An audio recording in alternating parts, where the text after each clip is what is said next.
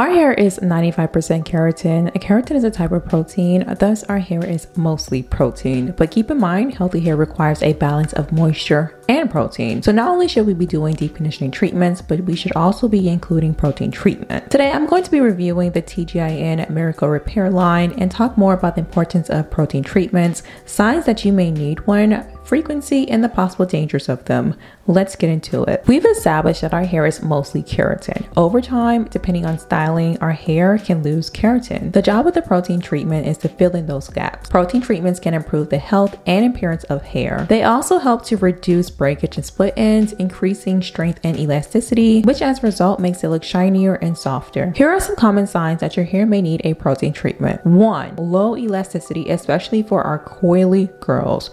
Noticing that the hair don't bounce back like it used to, yeah, definitely need a protein treatment. Flat or limp hair. Three, high porosity, which makes total sense because the hair is very porous. The shaft is lifted so it loses moisture and protein have been lost. Breakage, when you comb through the hair and see little hair dropping, but also not to be confused with needing a trim, but also you might need both. Mushy hair. Six, a lack of resilience. Like when you apply heat and the curls don't come back as much, think a bond builder for this one, which is also a type of protein. Seven, if your hair has been recently colored, definitely definitely think about adding a protein treatment. It's recommended to do a protein treatment four to six weeks, and I'm way overdue. My last treatment was October 23 for my last silk press, and with these braids, I've been rocking since January. I'm sure I have some gaps in my cuticle. I was going to do ApHogee two step, but the formula and texture look different, so I was on a hunt for a different protein treatment. Now, if you've been rocking with me, you know I love a good TGIN product, and I saw that they had a whole collection geared to strengthening your hair. So yeah, we're gonna be try the TGIN Miracle Repair line,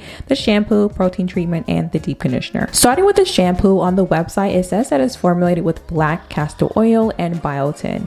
It claims to gently cleanse the hair without harsh sulfates. Black castor oil smooths the cuticle surface and helps promote healthy hair growth, while biotin nourishes and promotes length retention. I'll be doing a double cleanse because my scalp and hair is coated in oil. At first, I shampooed my scalp only, being very thorough, rinsed it out, and then I shampooed my scalp and the rest of my strand. Now this is definitely a clarifying shampoo. How do I know the shampoo is clear? But you know what? It didn't leave my hair feeling stripped. I just took my braids out after four months of having that protective style. Although I wash my hair weekly, I it's been a while since I washed my hair without the braid. It's always been easier for me to wash my hair in twists to prevent extra tangling. Now, although I didn't fully detangle my hair beforehand, and it was very evident when I went to go style my hair later and had a time detangling, but this this method helps to prevent more tangles. As a matter of fact, when you do a protein treatment, it's best to thoroughly detangle the hair before just to make sure that it's properly coated. And because protein treatments can leave the hair feeling very tough, it's definitely best to detangle beforehand. Which brings me to my next step, the protein treatment. According to the website, the Miracle Repair CPR protein treatment works deep to restore protein in hair, strengthening from the inside out. This gentle formula moisturizes the scalp and smooths the hair cuticle, promotes hair growth and healthy scalp. Like the shampoo, it has amazing ingredients including black castor oil, biotin, avocado oil, jojoba oil, coconut oil, which I didn't know. Somehow I missed that one. And I'm not too fond of coconut oil, but it also has raw black honey, burdock root extract, and hydrolyzed wheat protein. Hydrolyzed wheat protein is actually the star of the show. It has small peptides and amino acids that diffuse into the hair's cortex. That's what's filling in those gaps, repairing the hair. The direction says after shampooing to apply it to the hair. Like how I did it with the shampoo, I applied it to each twist. I fingered it through, making sure that each strand was thoroughly and properly coated. It didn't feel like regular protein treatments. Applying it felt like I was going to, like it was going to be moisturizing, like it had slip. It felt like I was applying a deep conditioner. Now, I didn't apply it to my scalp because it didn't say to apply from scalp to ends. So I found it interesting that the benefit said that it would moisturize the scalp. Like, how if it's not going on the scalp, you know? Anyway, for maximum penetration, it says to cover the hair with a warm towel or plastic cap for three minutes and then rinse it out. For extra deep conditioning, follow with the Miracle Repair Deep Hydrating Hair Mask. See, I ain't do none of that. I was a little cold, so I left it on for a little longer,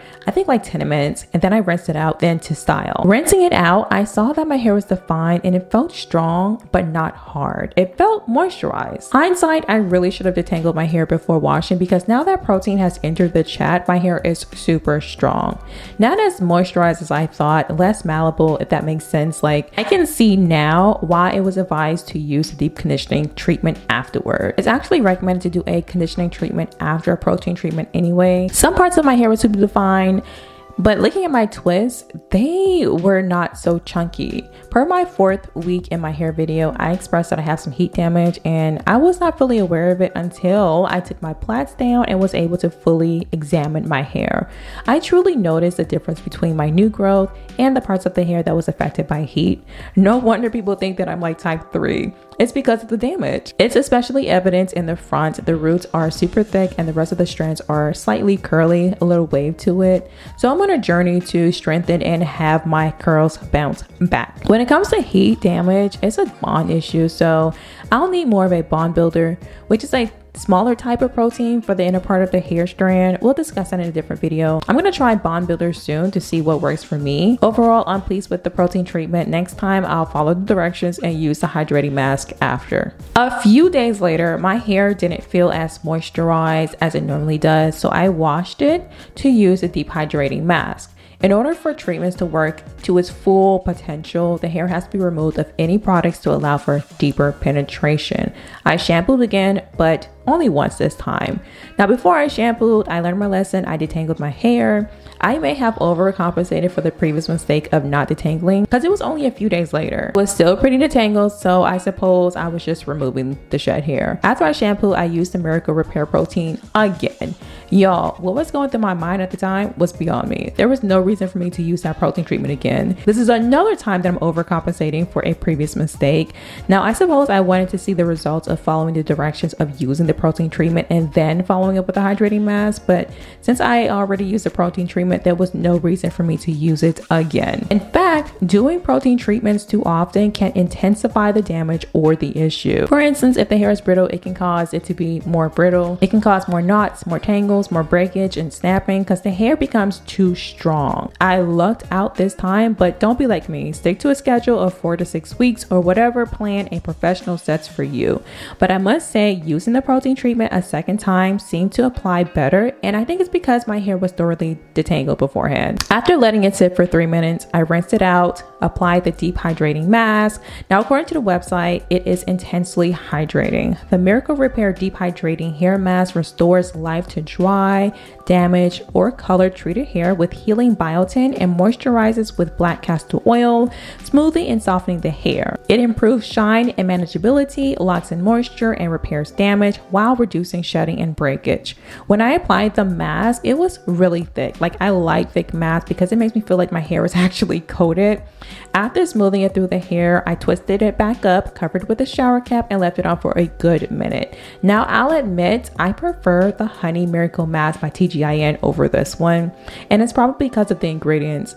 The Miracle Repair Hydrating Mask has coconut oil in it, and my hair doesn't typically react well to it. Honey and olive oil is the second and third ingredients in the Honey Miracle Mask, and my hair loves it. This shows the importance of reading the ingredient list. Some ingredients may work for some, but it may not work well for others. So, all in all, I think the mask is okay. It did leave my hair feeling soft and hydrated once I rinsed it out, but I know it could be better because I've actually had better by them. I've just experienced better for my hair. After after I rinsed the hydrating mask out my hair, I went on and applied and sprayed some light leave-in conditioner.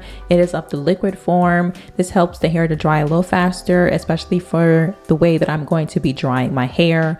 Um, after I sprayed my hair and put it back in the twist, I went on ahead and wrapped it in something to soak up the excess water. It's also best to do a protein treatment to better prep for a protective style. It's been a few months since my last good trim. I would clip like a few split ends here and there and in between like doing my plaits, but now that my hair is out, this is a good time to really do a cut.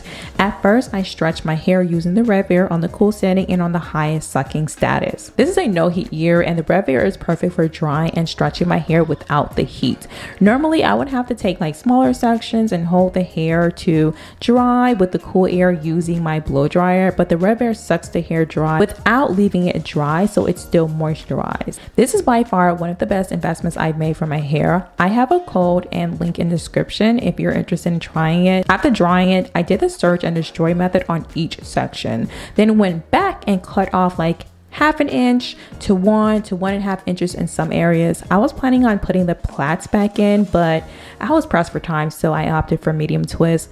Y'all, do you see? I mean, you guys can really see the texture and volume difference in the twist. Hopefully, this time next year, my hair will have grown thicker and the texture will have come back. Like I said, I'll be doing bond treatments from now on to help with my damage, so stay tuned for that. All I can say is that my hair is extremely soft and it feels healthy. The TGIN Miracle Repair line is good with a T at the end. I definitely recommend this for folks dealing with minor damage. Let me know your thoughts down below. If you like contents like this, definitely be sure to turn your notification on so you're notified when I do bond reviews.